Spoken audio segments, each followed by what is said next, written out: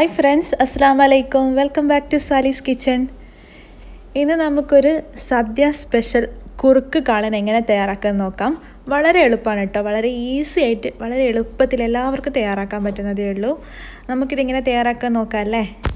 അപ്പം നമുക്ക് ഈ സദ്യ സ്പെഷ്യൽ കുറുക്ക് കാളൻ തയ്യാറാക്കാൻ വേണ്ടിയിട്ട് വേണ്ട രണ്ട് പച്ചക്കറികൾ ഒന്ന് പച്ചക്കായും ചേനയാണ്. അപ്പോൾ എന്റെ അടുത്ത് ചേന ഇല്ലാത്തതുകൊണ്ട് ഞാനിപ്പോൾ പച്ചക്കായ വെച്ചിട്ട് മാത്രമാണ് ചെയ്യുന്നത്. അതുകൊണ്ട് കുഴപ്പമൊന്നുമില്ല. അപ്പോൾ ചേന ഉണ്ടെങ്കിൽ ചേന എടുക്കുക അപ്പോൾ ചേന ഉണ്ടെങ്കിൽ നിങ്ങൾ ഒരു പച്ചക്കായയുടെ പകുതി എടുക്കുക കുറച്ച് ആ ഒരു സൈസിൽ തന്നെ ചേന എടുക്കുക അപ്പോൾ ഞാൻ ചേന ഇല്ലാത്തതുകൊണ്ട് ഒരു പച്ചക്കായ ഫുള്ളായിട്ട് എടുത്തിട്ടുണ്ട്. അതിന്റെ തൊലിയൊക്കെ കളഞ്ഞിട്ട് ഇതുപോലെ വലുതായിട്ട് സ്ലൈസ് ആയിട്ട് കട്ട് ചെയ്തിട്ടുണ്ട്. അപ്പോൾ നമുക്കിതിന് ഇത് ഇതിലേക്ക് അര കപ്പ് വെള്ളം ആഡ് ചെയ്ത് കൊടുക്കാം. പിന്നെ വേണ്ടത് ഒരു അര ടീസ്പൂൺ മഞ്ഞൾപ്പൊടിയും അര ടീസ്പൂൺ കുരുമുളക് പൊടി ഫൈനായിട്ട് പൊടിച്ചിട്ടുള്ള കുരുമുളക് പൊടിയാണ് ആഡ് ചെയ്യേണ്ടത്. ഉപ്പ് ഞാനിപ്പം ആഡ് ചെയ്യുന്നില്ല. നമുക്ക് ഈ പഴം ഒന്ന് കുക്കായതിന് ശേഷം നമുക്കിതിലേക്ക് ഉപ്പ് ആഡ് ചെയ്ത് കൊടുക്കാം. അപ്പോൾ നല്ല വേണം ഈ അരക്കപ്പ് വെള്ളമേ ഒഴിക്കാൻ പാടുള്ളൂ. കൂടുതൽ വെള്ളം ചേർക്കാൻ പാടില്ല. നമുക്ക് നല്ല തിക്കായിട്ട് കുറുകിയിട്ടാണ് ഇത് കിട്ടേണ്ടത്. അപ്പോൾ അധികം വെള്ളം ഒഴിച്ച് കഴിഞ്ഞാൽ നമുക്കത് വറ്റിച്ചെടുക്കുമ്പോഴത്തേക്ക് പഴം വല്ലാതെ അങ്ങ് വെന്ത് ഉടഞ്ഞു പോകും. നമുക്ക് പഴം അത്രയ്ക്ക് അങ്ങ് വേകാൻ പാടില്ല. കടിക്കാൻ കിട്ടണം. അങ്ങ് ഉടഞ്ഞു പോകാൻ പാടില്ല. അപ്പോൾ നിങ്ങൾ അരക്കപ്പ് വെള്ളം മാത്രമേ ആഡ് ചെയ്യാൻ പാടുള്ളൂ. ഇപ്പം ഞാനിതിലേക്ക് അര ടീസ്പൂണ് മഞ്ഞൾപ്പൊടിയും അര ടീസ്പൂൺ നല്ല ഫൈനായിട്ട് പൊടിച്ചിട്ടുള്ള കുരുമുളക് പൊടിയും ആഡ് ചെയ്തിട്ടുണ്ട്. ഇനി ഇത് നമ്മൾ നല്ലവണ്ണം ഒന്ന് ആ വെള്ളമൊക്കെ വറ്റുന്ന വരെ ഒന്ന് കുക്ക് ചെയ്തെടുക്കാം. അപ്പോഴേക്കും പഴം കുക്കായി കിട്ടിക്കോളും. നല്ല രീതിയിൽ കുക്കായി കിട്ടിക്കോളും. അങ്ങനെ വെന്തുടയത്തില്ല നമുക്ക് വേണ്ട പാകത്തിന് കുക്കായിക്കോളും അപ്പോൾ ഇതൊന്ന് വറ്റി വരട്ടെ. ആ വെള്ളം ഒന്ന് വറ്റി വരുന്നത് വരെ നമുക്ക് വെയിറ്റ് ചെയ്യാം. ആദ്യമൊക്കെ നമുക്കൊരു ഹൈ ഫ്ലെയിമിൽ വെക്കാം. പിന്നെ ഒന്ന് ഒരു ഒരു മിനിറ്റൊക്കെ കഴിഞ്ഞാൽ മീഡിയം ഫ്ലെയിമിൽ വെച്ചിട്ട് അടച്ച് വെക്കണമെന്ന് നിർബന്ധമൊന്നുമില്ല. അടച്ച് വെച്ചാലും കുഴപ്പമൊന്നുമില്ല. വെള്ളം ഒന്ന് വറ്റിച്ച് കിട്ടണം. പഴം അങ്ങ് വെന്തുടഞ്ഞു പോകാനും പാടില്ല. ഇക്കാര്യം ശ്രദ്ധിച്ചാൽ മതി കേട്ടോ. അപ്പോൾ പഴമൊക്കെ ഒന്ന് കുക്കായി വരട്ടെ. ആ സമയത്ത് നമുക്ക് അതിന് വേണ്ടിയിട്ടുള്ള തേങ്ങയൊക്കെ ഒന്ന് അരച്ചെടുക്കാം. അതിന് വേണ്ടിയിട്ട് ഞാൻ ഇവിടെ ഒരു മുക്കാൽ കപ്പ് തേങ്ങ ചിരകിയത് എടുത്തിട്ടുണ്ട്. ഇതിലേക്ക് രണ്ട് പച്ചമുളക് ഏഡ് ചെയ്തിട്ടുണ്ട്. പച്ചമുളക് നല്ല എരിവുള്ള പച്ചമുളകാണ്. ഇനി നിങ്ങൾക്ക് എരിവ് കൂടുതൽ വേണമെന്നുണ്ടെങ്കിൽ അതിനനുസരിച്ചിട്ട് പച്ചമുളക് ആഡ് ചെയ്യാം. പിന്നെ ഇതിലേക്ക് ഒരു കാൽ ടീസ്പൂണോളം നല്ല ജീരകം ചെറിയ ജീരകം ഉണ്ടല്ലോ അത് ആഡ് ചെയ്ത് കൊടുക്കാം. പിന്നെ ഇതൊന്ന് ഫൈനായിട്ട് അറിയാൻ വേണ്ടിയിട്ട് നമ്മൾ വെള്ളം ചേർക്കാൻ പാടില്ല. അതിന് പകരം നിങ്ങൾക്ക് തൈര് നമ്മുടെ ഇതിലേക്ക് തൈര് ഏഡ് ആഡ് ചെയ്യുന്നുണ്ട്. അപ്പം നമ്മൾ ഒരു കപ്പ് തൈരാണ് ഇതിലേക്ക് ഏഡ് ചെയ്യുന്നത്. ആ ഒരു കപ്പ് തൈരിൽ നിന്നും ഒരു രണ്ട് മൂന്ന് ടേബിൾ സ്പൂണ് തൈര് ഇതിലേക്ക് ആഡ് ചെയ്ത് കൊടുക്കുക. നല്ല രീതിയിൽ തേങ്ങ അരഞ്ഞു കിട്ടണം. അപ്പോൾ അതിന് വേണ്ടിയിട്ട് നിങ്ങൾക്ക് ആവശ്യമായിട്ടുള്ള തൈര് അതിലേക്ക് ആഡ് ചെയ്ത് കൊടുക്കാം. ഒരുപാട് ആഡ് ചെയ്യേണ്ട തേങ്ങ അരച്ച് കിട്ടാൻ വേണ്ടിയിട്ടുള്ള മാത്രം ആഡ് ചെയ്ത് കൊടുക്കാം ഇപ്പോൾ തേങ്ങ നല്ലവണ്ണം അരച്ചെടുത്തിട്ടുണ്ട്. അപ്പോഴേക്കും നമ്മുടെ പഴം വെന്തിട്ടുണ്ട് വെള്ളമൊക്കെ വറ്റി വന്നിട്ടുണ്ട്. ഇനി നമുക്കിതിലേക്ക് ഒരു ടീസ്പൂണ് നെയ്യ് ആഡ് ചെയ്ത് കൊടുക്കാം. പിന്നെ നമ്മൾ ഇതിൽ ഉപ്പൊന്നും ഇട്ടിട്ടില്ലല്ലോ. അപ്പോൾ ഈ ഒരു സമയത്ത് ഇതിനാവശ്യമായിട്ടുള്ള ഉപ്പും ആഡ് ചെയ്തിട്ട് നല്ലവണ്ണം ഒന്ന് മിക്സ് ചെയ്ത് കൊടുക്കാം. ഈ ഒരു പഴത്തിന് പ്രത്യേക ഒരു ടേസ്റ്റ് പച്ചക്കായ്ക്ക് ഈ നെയ്യിലിട്ടിട്ടൊന്ന് നമ്മളൊന്ന് വഴറ്റിയെടുക്കുന്ന സമയത്ത് ഒരു പ്രത്യേക ടേസ്റ്റ് ആയിരിക്കും നമ്മുടെ കാളൻ ഉണ്ടാവുക.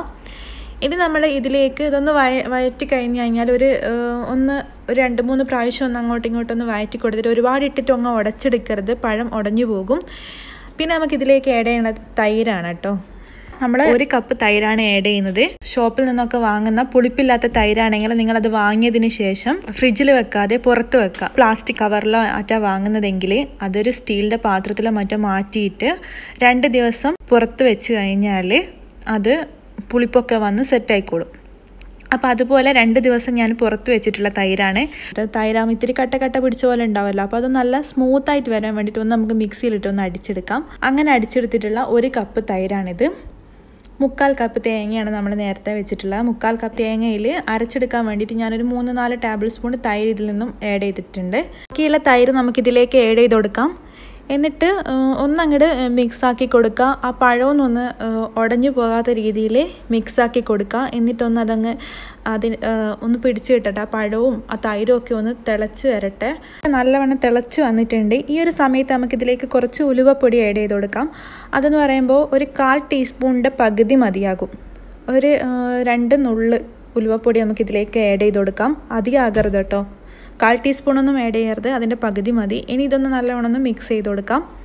ഇനി ഇതിലേക്ക് നമുക്ക് നേരത്തെ അരച്ച് വെച്ചിട്ടുള്ള അരപ്പാണ് ആഡ് ചെയ്യാനുള്ളത്. നമ്മൾ നേരത്തെ പച്ചമുളകും ചെറു ചെറിയ ജീരകവും പിന്നെ തൈരും കൂട്ടി അരച്ചിട്ടുള്ള അരപ്പാണ്. ഇത് നല്ല തിക്കായിട്ടായിരിക്കും ഉണ്ടാവും അപ്പോൾ നമുക്ക് ഇതിലേക്ക് ആഡ് ചെയ്യുന്ന സമയത്ത് നമ്മളത് മിക്സ് ആക്കുമ്പോൾ നമ്മുടെ പഴം ഉടഞ്ഞു പോകാൻ ചാൻസ് ഉണ്ട്. അതുകൊണ്ട് നമുക്ക് ഈ ഒരു കൂട്ടിൽ നിന്നും ഒരു മൂന്ന് ടേബിൾ സ്പൂണോളം ഈ ഒരു കൂട്ട് നമ്മൾ ഈ തേങ്ങയിൽ മിക്സ് ചെയ്തിട്ട് ഇത്തിരി ലൂസാക്കിയിട്ട് വേണം ഇതിലേക്ക് ആഡ് ചെയ്ത് കൊടുക്കാൻ വേണ്ടിയിട്ട്. അപ്പോൾ അങ്ങനെ ചെയ്യാം. അതായത് പറഞ്ഞു തരുന്നത് അത്ര പോലും നമ്മൾ വെള്ളം ആഡ് ചെയ്തിട്ട് ലൂസ് ചെയ്യാൻ പാടില്ല. അപ്പോൾ ഇങ്ങനെ ചെയ്തിട്ട് ഇതിലേക്ക് ആഡ് ചെയ്തിട്ടൊന്ന് മിക്സ് ചെയ്ത് കൊടുക്കുക അപ്പോഴായിരിക്കും നമ്മുടെ കാളൻ നല്ല കുറുകി കിട്ടുക. നമ്മൾ വെള്ളം ആഡ് ചെയ്യുമ്പോൾ അത് ലൂസായി പോകും. അപ്പോൾ കുറുക്ക് കാളൻ തയ്യാറാക്കാൻ പറ്റില്ല. അപ്പോൾ കുറുക്ക് കാളൻ തയ്യാറാക്കണം എന്നുണ്ടെങ്കിൽ ഇതുപോലെ ചെയ്തെടുക്കാം. ഇനി നമുക്ക് ഈ ഒരു അരപ്പ് ഇതിലേക്ക് മിക്സാക്കി കൊടുക്കാം. ആ പഴമൊന്നും ഉടഞ്ഞു പോകാതെ മിക്സാക്കി കൊടുക്കാം. എന്നിട്ട് നമ്മുടെ ഈ തേങ്ങയും ഈ ഇതൊക്കെ മിക്സാക്കി വെച്ചിട്ടല്ലോ ഇനി ഈ ഒരു അരപ്പൊന്ന് തിളച്ച് വരാൻ തുടങ്ങുന്ന സമയത്ത് തിളച്ച് തുടങ്ങി എന്ന് തോന്നിയാൽ നമുക്ക് ഈ ഒരു ഫ്ലെയിം ഓഫ് ചെയ്യാം.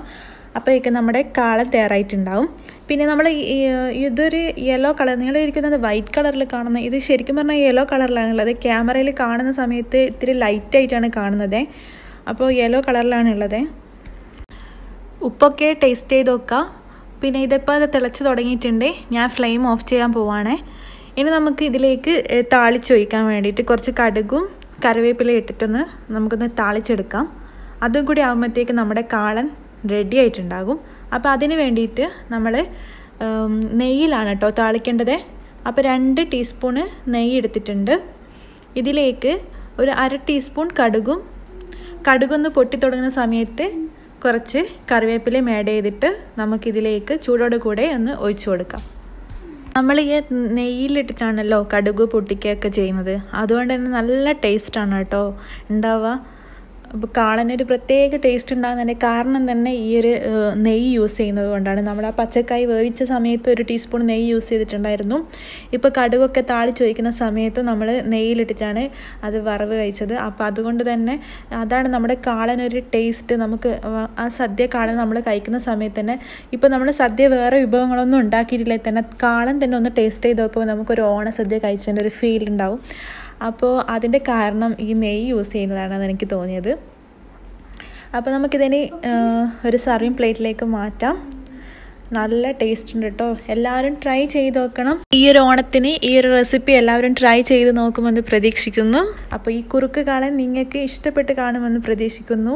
ഇഷ്ടപ്പെട്ടിട്ടുണ്ടെങ്കിൽ വീഡിയോ ലൈക്ക് ചെയ്യാനും മറ്റുള്ളവരിലേക്കൊന്ന് ഷെയർ ചെയ്ത് കൊടുക്കാനും മറന്നു പോകരുത് കേട്ടോ. ആരെങ്കിലും സബ്സ്ക്രൈബ് ചെയ്യാത്തവരുണ്ടെങ്കിൽ ഒന്ന് സബ്സ്ക്രൈബ് ചെയ്തേക്കണേ. അപ്പോൾ നമുക്ക് വീണ്ടും ഒരു നല്ല ഒരു വിഭവമായിട്ട് കാണാം. അതുവരേക്കും എല്ലാവർക്കും അസ്സാം വലൈക്കും